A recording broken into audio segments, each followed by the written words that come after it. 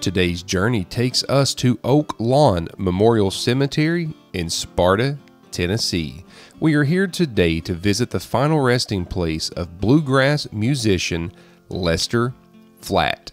Born June 19, 1914, Lester Flatt became famous for being part of the duo Flatt and Scruggs with his longtime partner Earl Scruggs.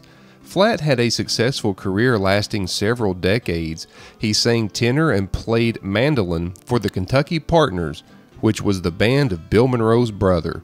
He first became known on a larger scale when he joined Bill Monroe's Bluegrass Boys in 1945.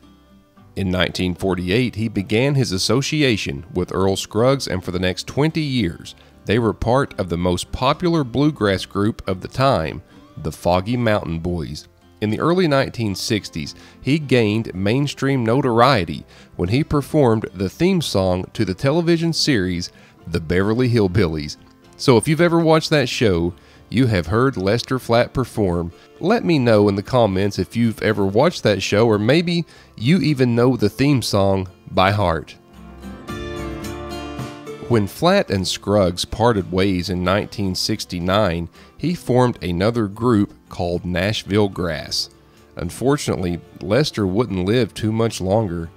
On May 11th, 1979, Lester Flatt passed away from heart failure.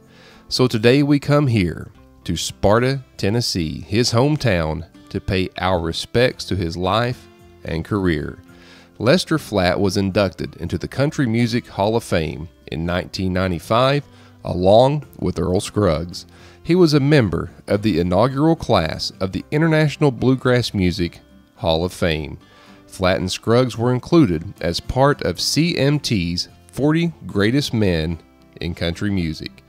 Please subscribe and like for similar videos to this one. We are constantly looking for interesting stories or places to visit and enjoy bringing those videos to you. Links for my website and Patreon will be in the description, and another video of mine will be on the screen soon. Please click on it for another video from us here at Whittdocs. Once again, from Oak Lawn Memorial Cemetery in Sparta, Tennessee, I will see you again soon.